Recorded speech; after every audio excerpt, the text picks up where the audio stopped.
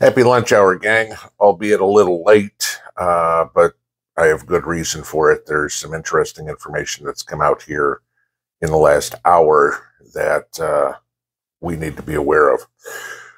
We're 36 hours into 2024 at this point, and so far we have seen an earthquake in Japan. We've seen a plane crash, albeit on the tarmac in Japan. Fortunately, 367 people survived as two planes crashed on the runway and planes burst into, into flames. We've seen what's being called a terrorist attack in uh, Rochester, New York, a whopping 50 minutes into the new year. Uh, that was a truck loaded with 12 cans of gasoline. Who the hell has 12 cans of gasoline on a truck? Running into somebody else. Fortunately, the only two people that died in that one were the two that were the suspected terrorists. But the most important one is what's happened here in the last hour. And this is one we kind of need to pay attention to.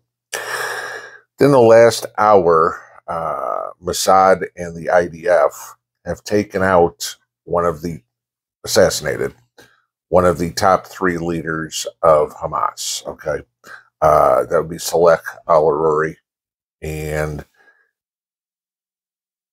this is going to be interesting because the as I told you guys a couple of weeks ago about who the financiers were, who the masterminds were of Hamas, they aren't in Gaza. Okay.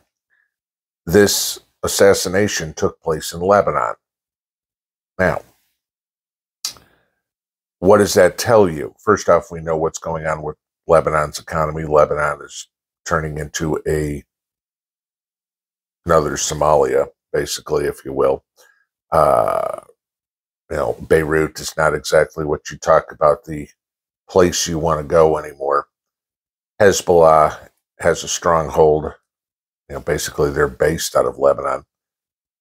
But Al Arouri was assassinated in Lebanon, which tells you that Hamas and the IDF have now infiltrated deep into Hezbollah territory, Hamas territory.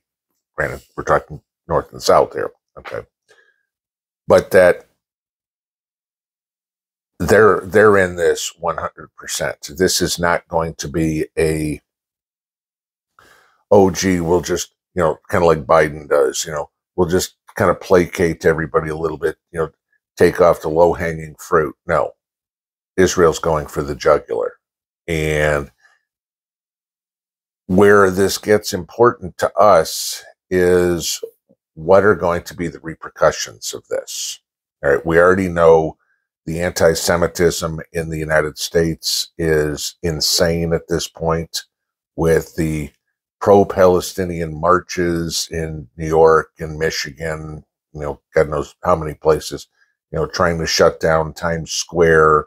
Christmas isn't going to happen, right? How many of these people are going to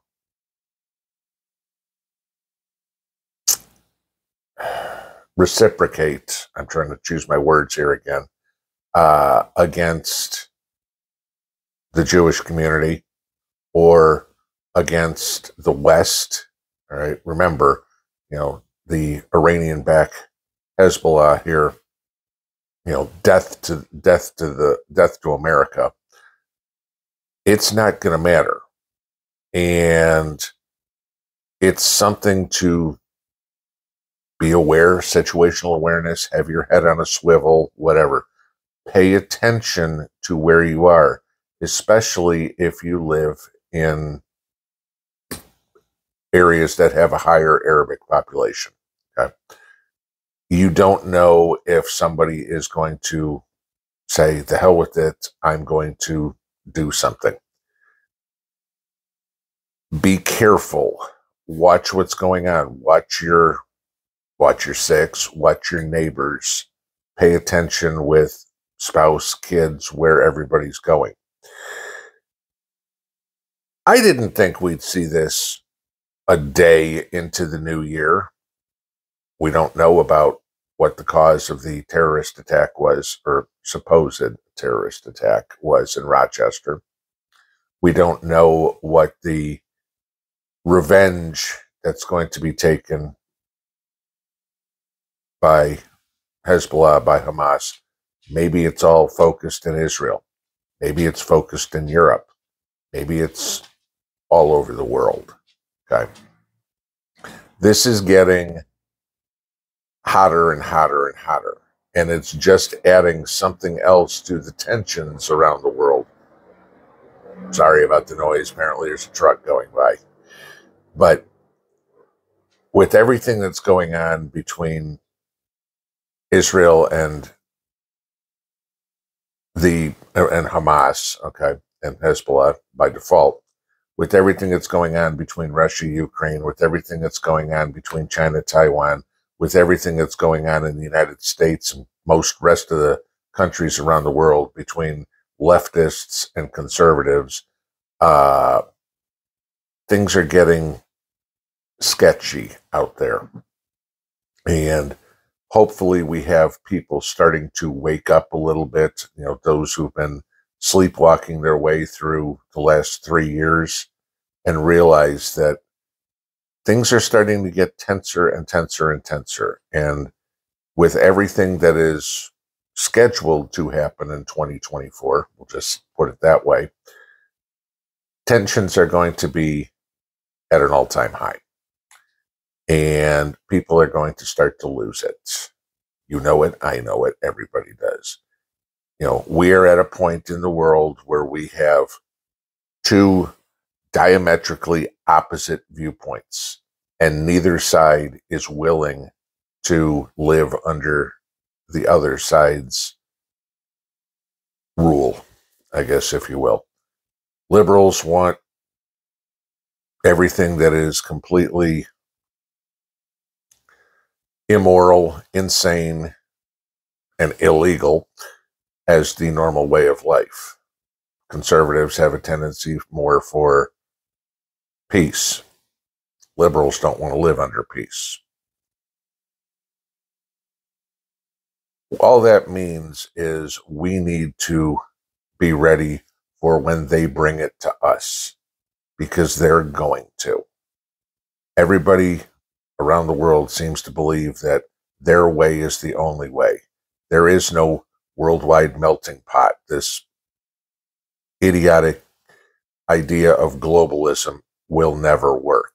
Okay, the world, the people of the world have never got all gotten together, uh, gotten along together in history. But somehow Klaus Schwab is going to manage to do that now, right? Well, the only way they can do it now is dictatorial. And the people of the world aren't going to put up with that. You have a lot of jockeying for position right now between every different group out there who wants to domineer with their mindset. You know where you stand. It may be in the same place I do, it may be somewhere different. Okay. But you're going to have to stand.